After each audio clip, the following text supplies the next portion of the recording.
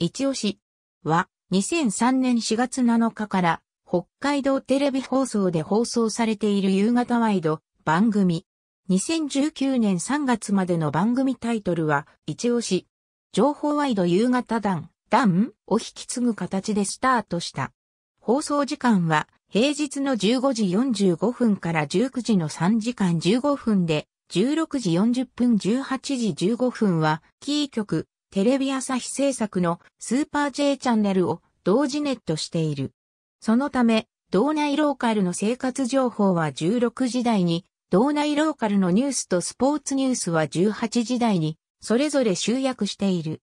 2011年4月改編では、道内民放テレビ4局の自社製ワイド番組が平日15.1617時台に並ぶこととなることから番組の大幅なリニューアルを実施。従来放送してきた朝番組を再編する形で当番組タイトルと同じ一押しを冠した月から土曜朝の情報番組一問にを設ける。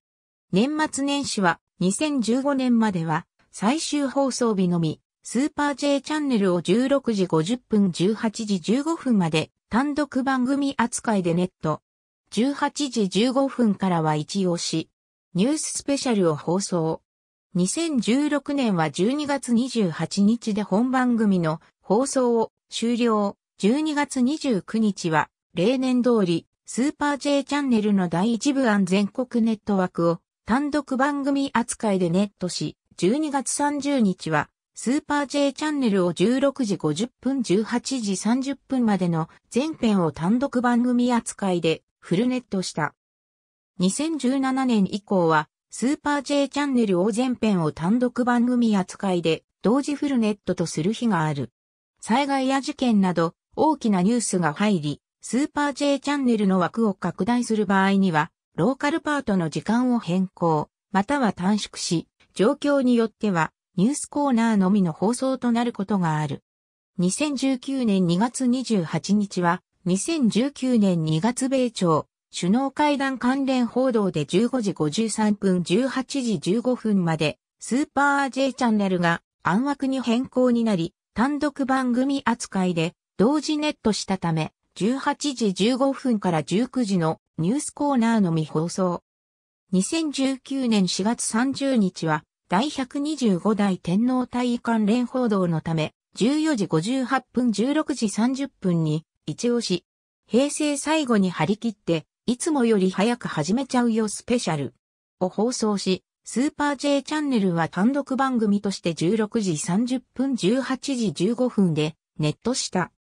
また、18時台は、羽鳥新一モーニングショー夜の拡大版今夜決定。平成日本のヒーロー総選挙を放送するため、18時15分から18時30分に短縮して放送した。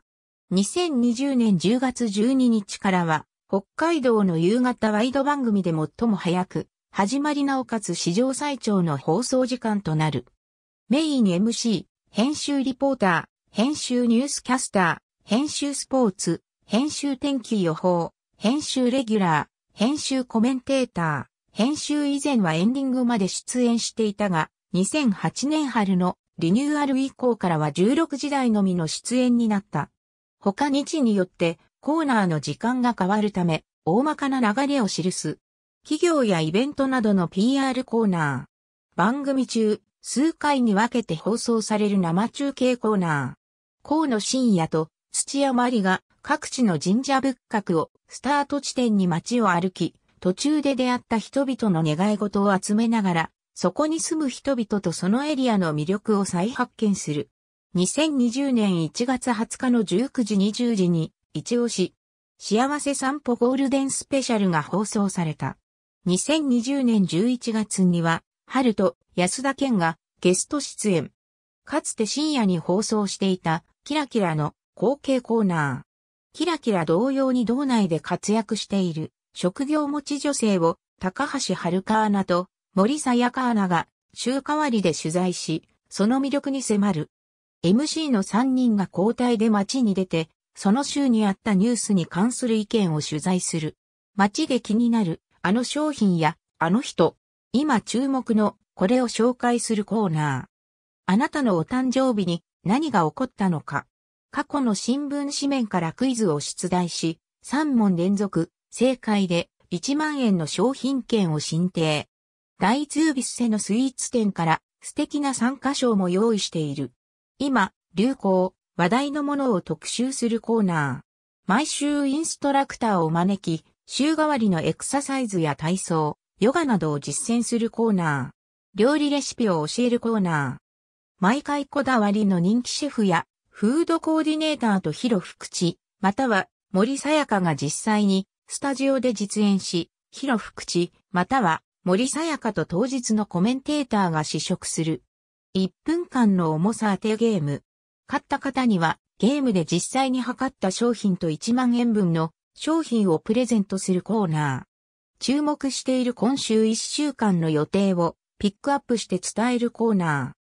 毎回人気のお店などの商品をベスト5形式で、さらに一押しが独自の目線で考えたランキングにして紹介する。視聴者から募集した疑問を解決するコーナー。コーナー名にあるように、広福地がいろいろな現場に行き、取材や体験などに挑戦するコーナー。旅行体験リポート企画や道内各地の観光、グルメレポートなどを中心に放送。街の人に最近気になったことについてインタビュー取材し、トピックスするコーナー。スタジオ出演者とのじゃんけん対決。スタジオ出演者に勝てば1万円を申請。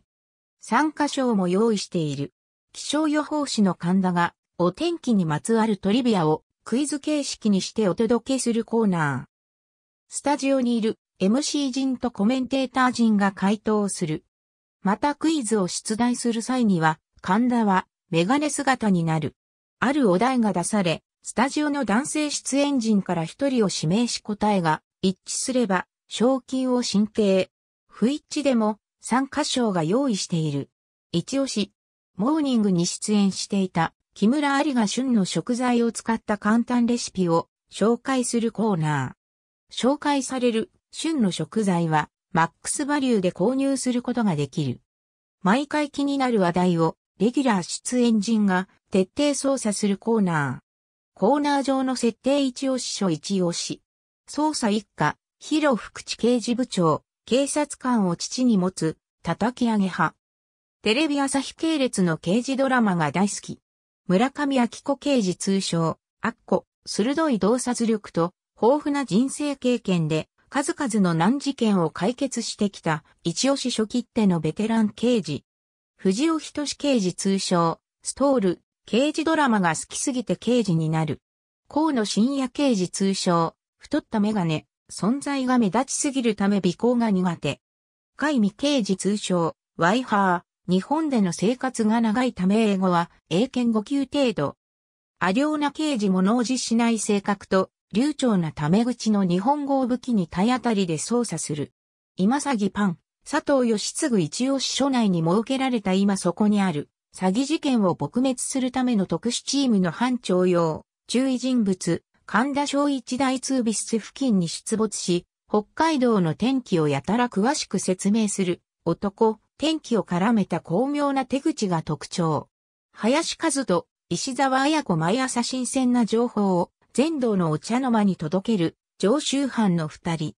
過去の設定、国井美佐名古屋の財閥令嬢でキャリア組。村上明子道内閣所で心温まるレポートを繰り返す40代の女。神田正一、高橋遥大通ビス付近に出没し、北海道の天気をやたら詳しく説明する二人組。天気の話題にクイズにを絡めるなどの巧妙な手口が特徴。札幌県のスーパーで抽選で選ばれた素人の主婦が制限時間3分で設定金額の3万円前後になるようお買い物をして見事に設定金額になればその商品が無料で持ち帰れる失敗の場合も参加賞がある。名店が長く愛されるには訳がある。昭和の時代から長きにわたって愛され続けている老舗店の看板メニューを紹介するコーナー。昔の写真を手がかりにロシア出身のアリョーナと河野が現在の場所を探し出しあなたの知らない北海道を見つける北海道再発見の旅をするコーナー。北海道各地でご当地の味をその地元の人にインタビュー取材し、まとめたものをランキング形式で紹介するコーナー。現在は通常バージョン、札幌市10区バージョン、北海道日本ハムファイターズの北海道179市町村応援大使企画と連動したものを放送している。以前は水曜に放送され、その際は前半、カンちゃんのお天気コーナー、後半と分けて放送していた。年齢を重ねることで直面する様々な問題を取り上げ、老後の不安を解消していくコーナー。テーマの専門の方を及びし解説をしてもらう。コメンテーターを務める金融ジャーナリストの川口、和照にお金にまつわるお得な情報を教えてもらうコーナー。コメンテーターを務めるファイナンシャルプランナーの稲村、ゆうたか子に、主婦目線から今からでも始められる、身近なお金の情報を教えてもらうコーナー。普段よく目にはするけども名前のわからないものの名前に、スポットを当て、街灯や物を作っている会社などを取材。テレビを見た人が誰かに言いたくなる雑学を紹介するコーナー。メイン MC の広福地が得意の絵を駆使し、今週気になったことを描いてお伝えするコーナー。月曜から水曜レギュラーの木村有が旬の一押し食材を使って簡単時短な料理を紹介するコーナー。紹介される旬の一押し食材はマックスバリューで購入することができる。ありがとうございます。